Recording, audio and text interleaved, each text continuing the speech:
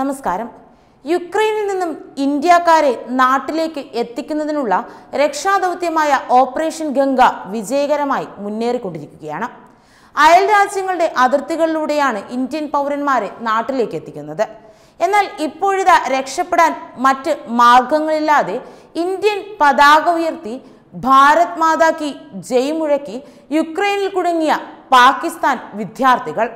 ഇത്തരത്തിലുള്ള ഒരു റിപ്പോർട്ടും പുറത്തു വന്നിട്ടുണ്ട് ഇത് സംബന്ധിച്ച് യുക്രൈനിൽ കുടുങ്ങിയ പാക് വിദ്യാർത്ഥികൾ രക്ഷപ്പെടാനായി ഇന്ത്യൻ പതാക ഉപയോഗിക്കുകയും ഭാരത് മാതാ കി ജയ് മുദ്രാവാക്യം മുഴക്കുകയും ചെയ്യുന്നുവെന്ന തരത്തിലുള്ള വീഡിയോകളാണ് ഇപ്പോൾ സമൂഹ മാധ്യമങ്ങളിൽ വൈറലായി മാറിയിരിക്കുന്നത്.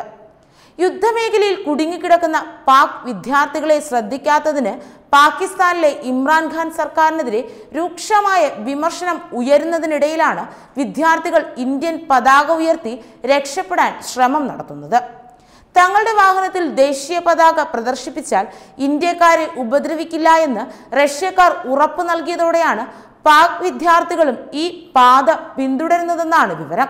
യുക്രൈനിൽ നിന്ന് സുരക്ഷിതമായി കടന്നു പോകാൻ ഇന്ത്യൻ പതാക ഉപയോഗിക്കാൻ നിർബന്ധിതരാകുന്നത് എങ്ങനെയെന്ന് വിദ്യാർത്ഥികളിൽ ഒരാൾ കൃത്യമായി പറയുന്നതും വീഡിയോയിൽ നമുക്ക് കേൾക്കാം. ഇമ്രാൻഖാന്റെ നേതൃത്വത്തിലുള്ള തങ്ങളുടെ രാജ്യം ഞങ്ങൾക്കെതിരെ തിരിഞ്ഞതോടെയാണ് ഇത് ചെയ്യേണ്ടി വന്നതെന്നും അവർ പറയുന്നു. സുരക്ഷിതമായി യുക്രൈന്റെ അതിർത്തിയിലെത്തി അയൽ രാജ്യത്തേക്ക് കടക്കാനാണ് ഭാരത് മാതാ കി ജയ് മുദ്രാവാക്യം മുഴക്കിയതെന്നുമാണ് ഈ വിദ്യാർത്ഥികൾ പറയുന്നത്. അതേസമയം യുക്രൈനിൽ കുടുങ്ങിക്കിടക്കുന്ന വിദ്യാർത്ഥിയുടെ സുരക്ഷ ഉറപ്പാക്കാൻ പാക് സർക്കാർ കാര്യമായി ഒന്നും തന്നെ ചെയ്യുന്നില്ല എന്നാണ് റിപ്പോർട്ടുകൾ പറയുന്നത്. ഈ നിസ്സഹായരായ പാക് വിദ്യാർത്ഥികൾ വാഹനങ്ങൾ വാടകയ്ക്കെടുക്കുകയും വാഹനങ്ങളിൽ ഇന്ത്യൻ പതാകകൾ ഒട്ടിക്കുകയും ഭാരത് മാതാ കി ജയ് മുദ്രാവാക്യങ്ങൾ മുഴക്കുകയും ചെയ്ത് ഇന്ത്യക്കാരാണെന്ന് നടിച്ചാണ് രാജ്യം വിടാൻ ശ്രമിക്കുന്നത്. യുക്രൈനിലെ മെട്രോ സബ്വേകളിൽ കുടുങ്ങിയ പാക് വിദ്യാർത്ഥികളുടെ ദൃശ്യങ്ങളും ഇതോടൊപ്പം പുറത്തു വന്നിട്ടുണ്ട്. പാകിസ്ഥാൻ എംബസിയിൽ നിന്ന് ആരും രക്ഷിക്കാനില്ലാത്തതിനാൽ ഭക്ഷണവും വെള്ളവുമില്ലാതെ തങ്ങളിവിടെ കുടുങ്ങിയതായി ദുരിതത്തിലായ വിദ്യാർത്ഥികൾ പറയുന്നതും വീഡിയോയിൽ നിന്ന് നമുക്ക് മനസ്സിലാക്കാം. എല്ലാ വിദ്യാർത്ഥികളെയും ഒഴിപ്പിച്ചതായി എംബസി കള്ളം പറയുകയാണ്. എന്നാൽ ഞങ്ങളെല്ലാവരും ഇവിടെ തന്നെയാണ് ഇപ്പോഴുമുള്ളത്. ഈ യുദ്ധഭീതിയുടെ നിഴലിൽ എല്ലാ രാജ്യങ്ങളും അവരുടെ ആളുകളെ ഒഴിപ്പിച്ചുകൊണ്ടിരിക്കുന്നു പക്ഷേ പാകിസ്ഥാന് ഞങ്ങളുടെ കാര്യത്തിൽ യാതൊരു വിഷമവുമില്ല. ഞങ്ങൾ പാകിസ്ഥാനികളാണ് എന്നതാണ് ഞങ്ങളുടെ ഒരേ ഒരു തെറ്റ് എന്നാണ് വിദ്യാർത്ഥികൾ പറയുന്നത്. എന്നാൽ മറ്റൊരു വീഡിയോയിൽ ഇന്ത്യൻ പതാക ഒട്ടിച്ചതിനാൽ ഹംഗറി അതിർത്തിയിലെത്തിയ ഞങ്ങൾക്ക് മൂന്ന് രാജ്യങ്ങളിലൂടെ സുരക്ഷിതമായ പാത എങ്ങനെ കിട്ടിയെന്ന് ഒരു ഇന്ത്യൻ വിദ്യാർത്ഥി വെളിപ്പെടുത്തുന്നത് കേൾക്കാം. അവരുടെ വാഹനത്തിൽ ഇന്ത്യൻ പതാക കണ്ട് സൈനികർ പ്രകടിപ്പിക്കുന്ന ബഹുമാനം ഞങ്ങൾക്ക് അഭിമാനകരമാണ്. ഒരു പരിശോധനയും കൂടാതെ ഞങ്ങളെ അവർ വിട്ടയച്ചു. ലോകമെമ്പാടും ഇന്ത്യ സ്വയം ഒരു പേര് കെട്ടിപ്പടുത്തുന്നുവെന്നാണ് ഇത് സൂചിപ്പിക്കുന്നത്.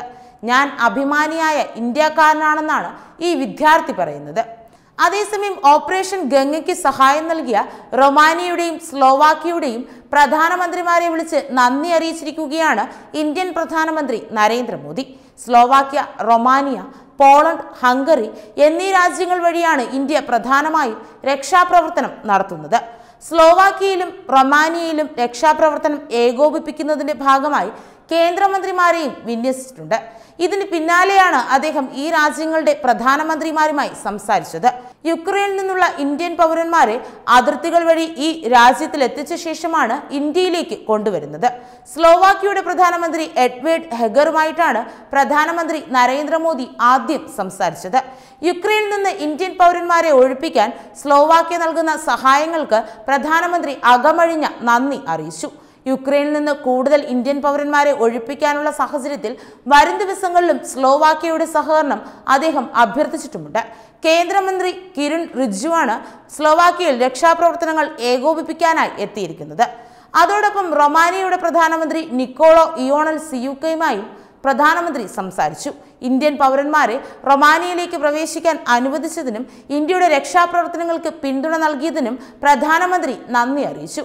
കേന്ദ്ര വ്യോമയാന മന്ത്രി ജ്യോതിരാദിത്യ സിന്ധിയാണ് ഇവിടേക്ക് എത്തിയിരിക്കുന്നത്. ഈ വിവരവും ഇയണൽ സിയോക്കിയെ അറിയിച്ചിട്ടുണ്ട്. എന്തായാലും പഴുതടിച്ച നയതന്ത്രപരമായ സുരക്ഷിതമായ രക്ഷാപ്രവർത്തനമാണ് ഇന്ത്യ ഇപ്പോൾ നടത്തിക്കൊണ്ടിരിക്കുന്നത്. വെബ് ഡെസ്ക് തത്തുമേ ന്യൂസ്.